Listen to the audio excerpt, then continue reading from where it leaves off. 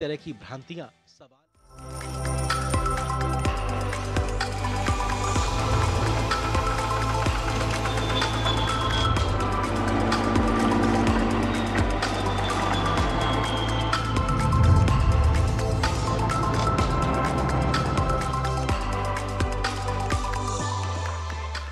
नमस्कार, आप सभी का स्वागत इकोनॉमी टुडे में। मैं हूँ मुकुल शर्मा। इकोनॉमी टुडे में आपको हम बताएँगे कारोबार जगत में क्या कुछ खास चल रहा है और इसके साथ साथ आने वाले जो दिन हैं, उनमें किस तरीके से जो भारतीय अर्थव्यवस्था है और मज़बूत होती नज़र आएगी और खासतौर से आज हम चर्चा भी करेंगे इसी को लेकर के कैसे जो भारतीय अर्थव्यवस्था है लगातार मज़बूत होती जा रही है। लेकिन आइए सबसे पहले नज़र डालते हैं टॉप लाइन्स पर।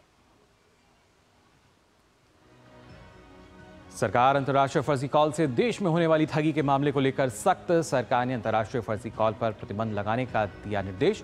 यूज़र्स को मिली साइबर अपराध और वित्तीय धोखाधड़ी से राहत। वित्त वर्ष 2024 और 25 में अर्थव्यवस्था के शानदार प्रदर्शन के साथ ही विनिर्माण और सेवा क्षेत्र में लगातार बनी हुई है तेज़ी।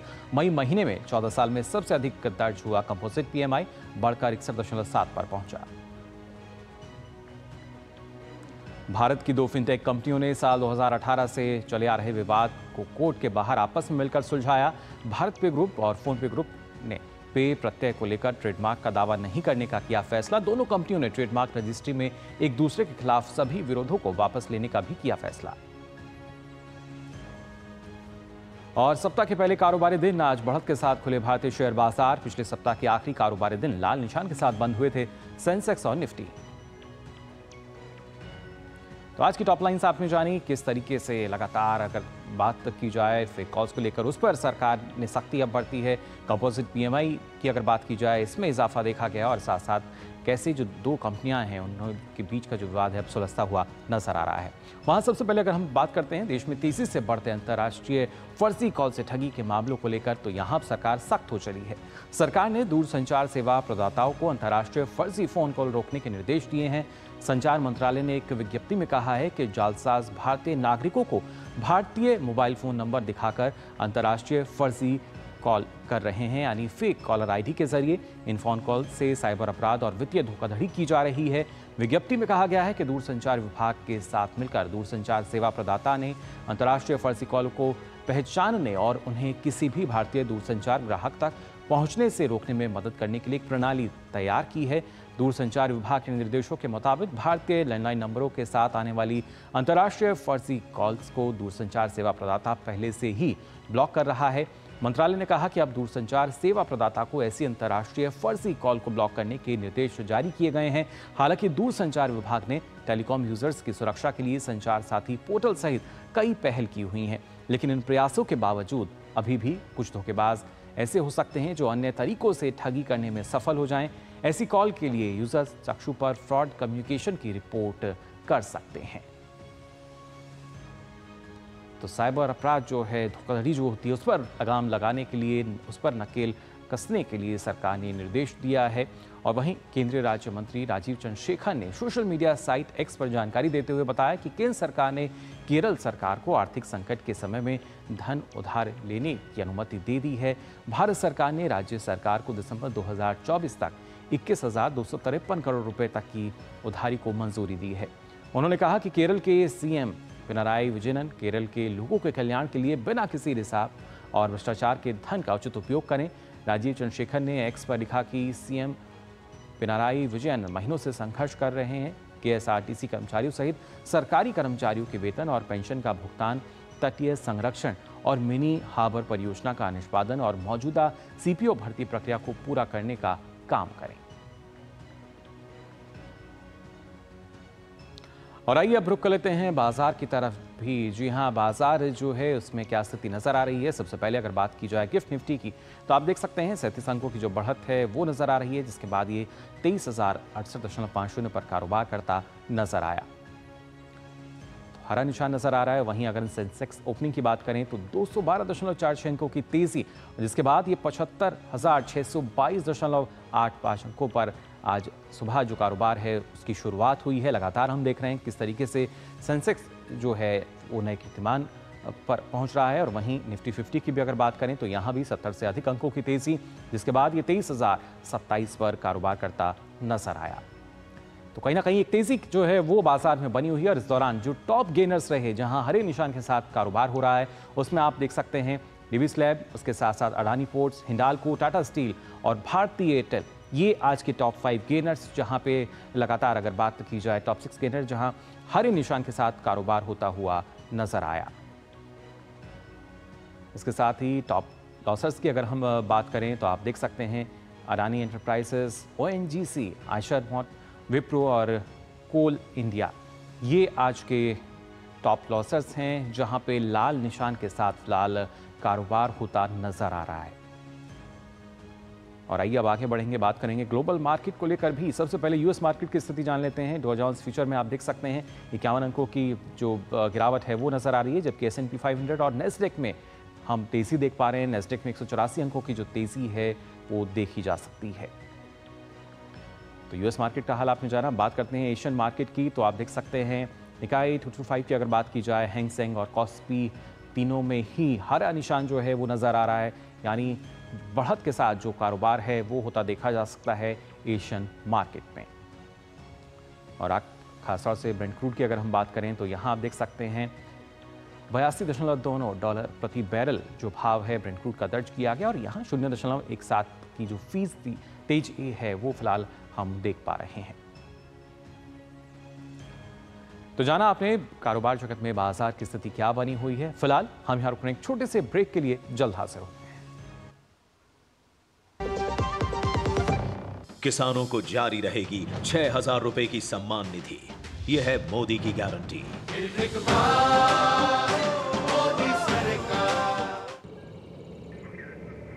Curiosity can take you to some out of the world places took me to the moon today curious about this place scan this Q R code before I take it off with my CEAT tyres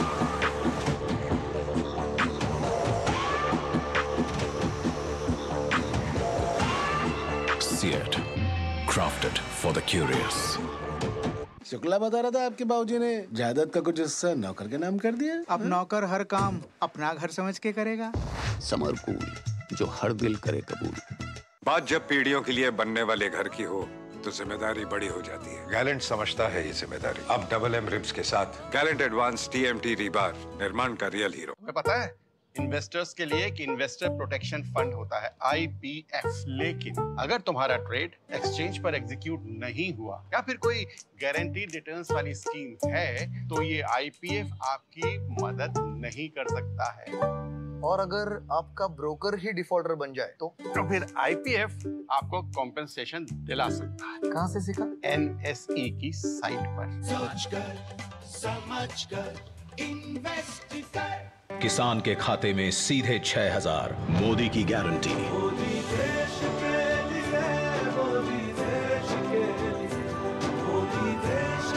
फिर एक बार मोदी सरकार। कमल का button दबाएँ भाजपा को जिताएँ। तो break के बाद आप सभी का एक बार फिर स्वागत कॉम टुडे में और आइए बात करते हैं आज के फोकस की।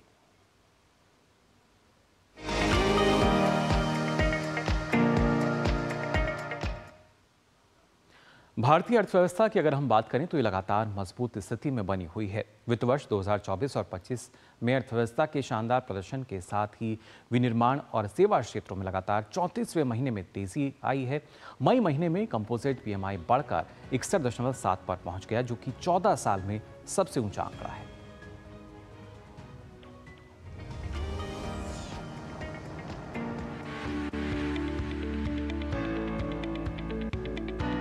विनिर्माण क्षेत्र में मेक इन इंडिया का काफ़ी असर हुआ है। इसकी बानगी हाल ही में जारी कंपोजिट पीएमआई यानी परचेजिंग मैनेजर इंडेक्स में भी देखने को मिली है। मई महीने में कंपोजिट पीएमआई बढ़कर इकसठ दशमलव सात पर पहुँच गया। देश में मांग को मिली गति, खासकर सेवा क्षेत्र में तेज़ी आने से ऐसा हुआ है। एच की ओर से जारी ताज़ा सर्वे के मुताबिक भारत के विनिर्माण और सेवा क्षेत्रों में लगातार चौतीसवे महीने में तेज़ी आई है। जो पिछले 14 साल की तीसरी सबसे मज़बूत रीडिंग है।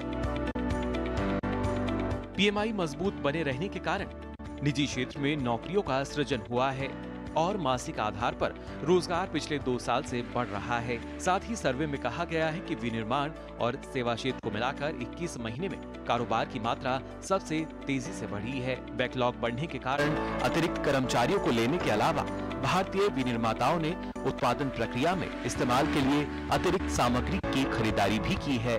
दुनिया में तेज़ी से बढ़ती अर्थव्यवस्था के लिए पीएमआई में बढ़ोतरी होना इकोनॉमी के सेंटीमेंट के बारे में बताता है। सरल शब्दों में कहें तो पीएमआई ज़रिया है विनिर्माण क्षेत्र में रोज़गार, नए ऑर्डर्स बिज़नेस एक्टिविटी को मापने का। साथ ही देश में महँगाई पर नियंत्रण और राजनीतिक स्थिरता के चलते भी अर्थव्यवस्था को सहारा मिल रहा है। ब्यूरो रिपोर्ट डीडी न्यूज़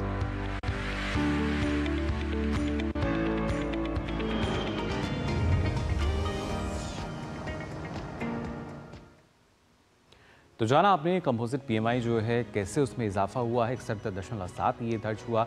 और उसके साथ साथ इसके जो परिणाम हैं, वो किस तरीके के आ रहे हैं? इस पर चर्चा करने के लिए हमारे साथ बेहद ही खास मेहमान जुड़े हैं। जो यहाँ हमारे साथ प्रोफेसर सचिन चतुर्वेदी जी, जो कि डीजी हैं। हमारे साथ आ रही है फॉर डेवलपिंग कंट्रीज़ और वरिष्ठ अर्थशास्त्री। आपका बहुत बहुत स्वागत सचिन जी। सबसे पहले आपसे जानना चाहेंगे, जब हम आम नागरिकों की जब हम बात करते हैं, कैसे वो इस पीएमआई को समझ सकते हैं? क्योंकि जो जिस तरीके से इसके पैरामीटर्स होते हैं, खासतौर से निजी क्षेत्र की जब हम बात कर रहे हैं, रोज़गार को देखा जाता है मैनुफैक्चरिंग सेक्टर को देखा जा रहा है, कैसे वो उसको समझ सकते हैं सचिन जी? मुकुल जी अगर हम देखें आ, किन मायनों में इसको देखा जाना चाहिए इस कंपोजिट इंडेक्स को और इसके कौन से ऐसे पैरामीटर्स हैं जिनके तरफ़ ये आप जिस उछाल की अभी चर्चा कर रहे थे वो सामने निकल करके आता है? जैसा आपकी रिपोर्ट में बिल्कुल सही कहा गया मैन्युफैक्चरिंग के क्षेत्र में सर्विसेज़ के क्षेत्र में जो भारत की तेज़ी से प्रगति हुई है उसका ही इंडेक्स ये एच की रिपोर्ट ने सामने ला करके रखा है। अगर आप देखें तो ये स्वाभाविक ही है कि जिस तेज़ी के साथ भारत की अर्थव्यवस्था बढ़ी है जिस तेज़ी के साथ हम देख रहे हैं कि सर्विसेज़ सेक्टर में उछाल आया है। और वो उछाल जिसकी चर्चा आपने की मुझे लगता है उसको अगर तीन बिंदुओं की दृष्टि से अगर हम देखें तो वो अत्यंत सूचित होगा। सबसे पहला जो हमने सर्विसेज़ सेक्टर का एक्सपोर्ट बढ़ते हुए देखा है आपको ध्यान में होगा कि अभी पिछले बजट में जब वित्त मंत्री ने सर्विसेज़ सेक्टर के बारे में कहा और इकोनॉमिक सर्वे में चर्चा हुई तो करीब करीब 370 बिलियन डॉलर की हम चर्चा कर रहे थे इसके सर्विसेज़ सेक्टर के एक्सपोर्ट्स की। और आज जो हमारा टारगेट है 2030 के लिए वो वन हम्म। ट्रिलियन है। एचएसबीसी की रिपोर्ट उसको अभी 800 बिलियन तक अंदाज लगा के कह रही है कि हम 2029 में ही वो 800 बिलियन हासिल कर सकते हैं।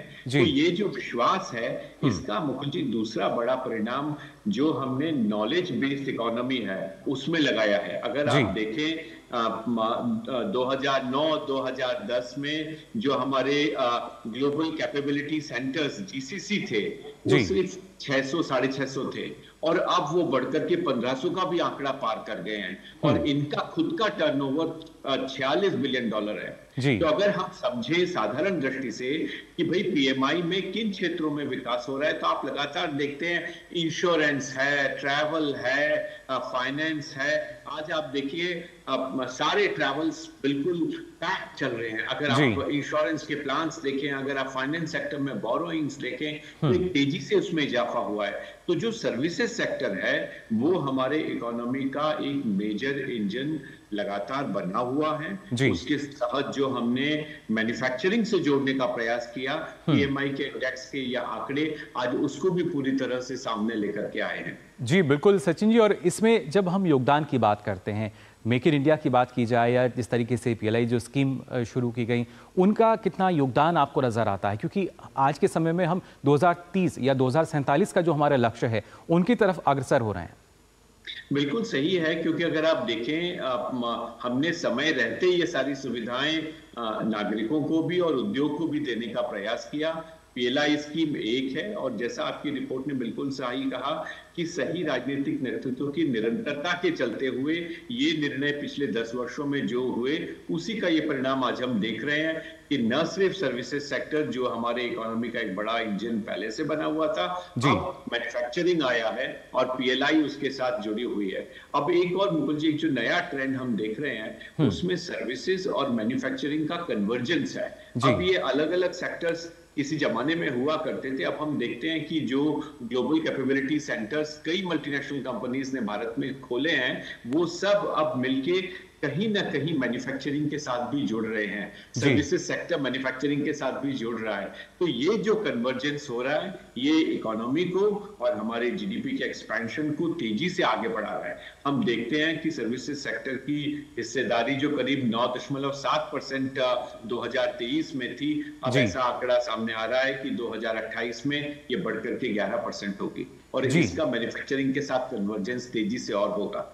जी, बिल्कुल, और ख़ासतौर से उसी का जो नतीजा या परिणाम हम देख सकते हैं, जो कंपोजिट पीएमआई है, वो जिस तरीके से बढ़ता नज़र आ रहा है। लेकिन इसमें ख़ासतौर से जब हम रोज़गार की बात करते हैं, क्योंकि देश में हमने देखा स्टार्टअप कल्चर जो है, वो भी डेवलप होता नज़र आया, और उसके साथ साथ जब अतिरिक्त रोज़गार की हमने बात की, पहले लक्ष्य हम रखे थे कितना रोज़गार शायद हमें ज़रूरत पड़ेगी, लेकिन जो मांग ये निकली है डिमांड जो जनरेट हुई है, और ज़्यादा एम्प्लॉयमेंट को लेकर, उसको कैसे आप देख पा रहे हैं?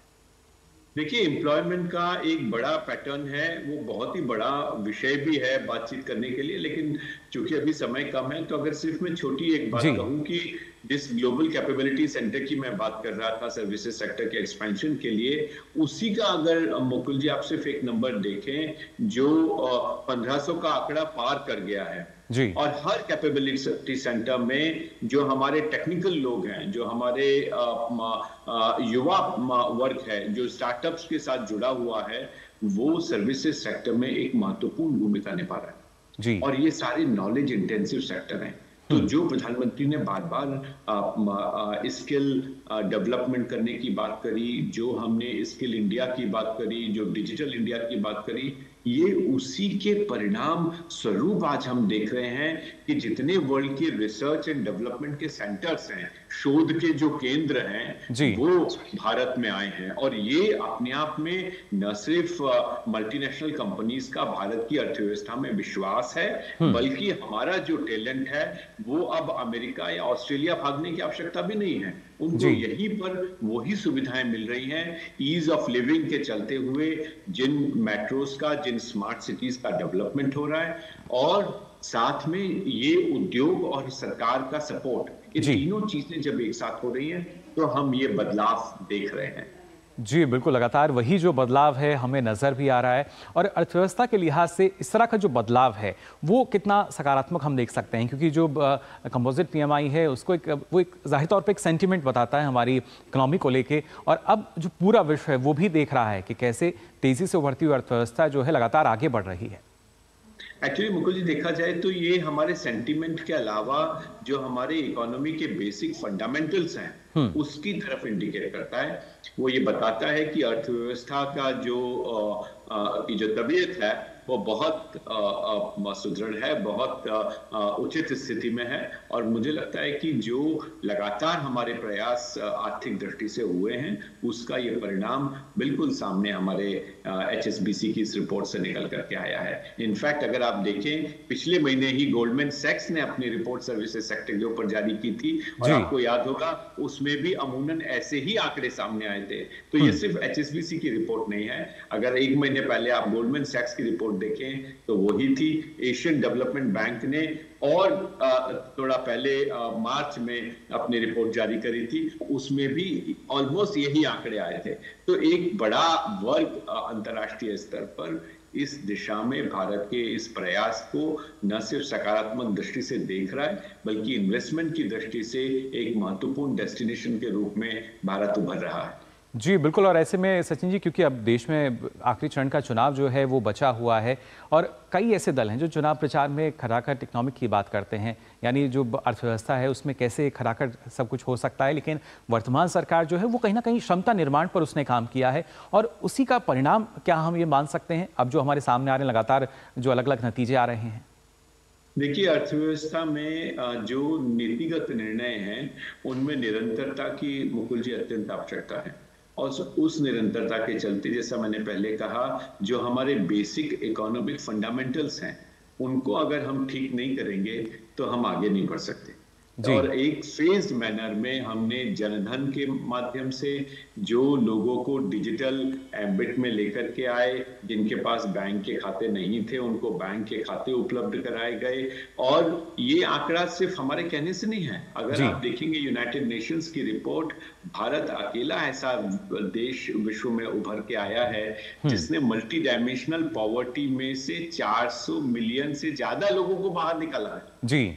ये संख्या अपने आप में अत्यंत महत्वपूर्ण है और ये इंडिकेट करती है कि अर्थव्यवस्था के टेक ऑफ़ के लिए ज़्यादा से ज़्यादा लोगों की सहभागिता हमें मिल रही है। वो हमारे साथ जुड़े हुए हैं। और फिर आप देखिए चाहे वो नॉलेज का सेक्टर हो चाहे मैन्युफैक्चरिंग का सेक्टर हो इवन एग्रीकल्चर का सेक्टर जी। यानी हर एक क्षेत्र से हम कह सकते हैं जो सकारात्मक परिणाम है सचिन जी वो हमें मिल रहे हैं। और उम्मीद यही कि जो तेज़ी है और और तेज होती नज़र आए जिससे हमारा जो लक्ष्य है उसको हम पा सकें। फ़िलहाल आपका बहुत बहुत शुक्रिया हमारे साथ जुड़ने के लिए। और आइए अब इकोनॉमी टुडे में नज़र डालते हैं कारोबार जगत से जुड़ी कुछ अहम खबरों पर फटाफट अंदाज में।